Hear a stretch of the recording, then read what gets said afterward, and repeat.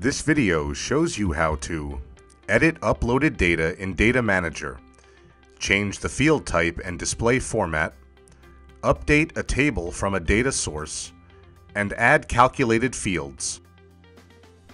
All of the tables you have loaded using Add Data will be shown here.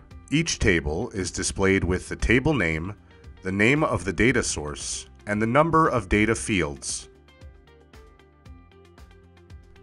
You can edit all of the tables that you have added with the Add Data function. When you edit a table, you can select which tables and fields to use in your analysis. You can add, remove, or rename fields from the data source. If you have used fields from the data table in a visualization, removing the data table will result in an error being displayed in the app.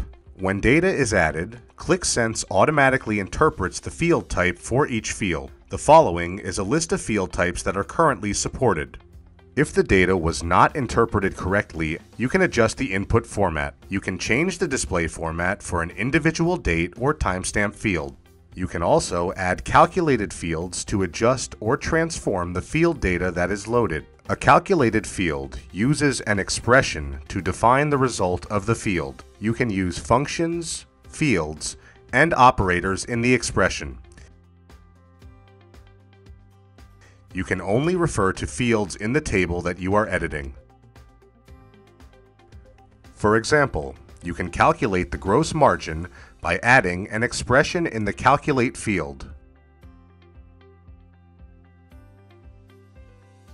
Once the Calculate field is created, you can change the name or edit the expression.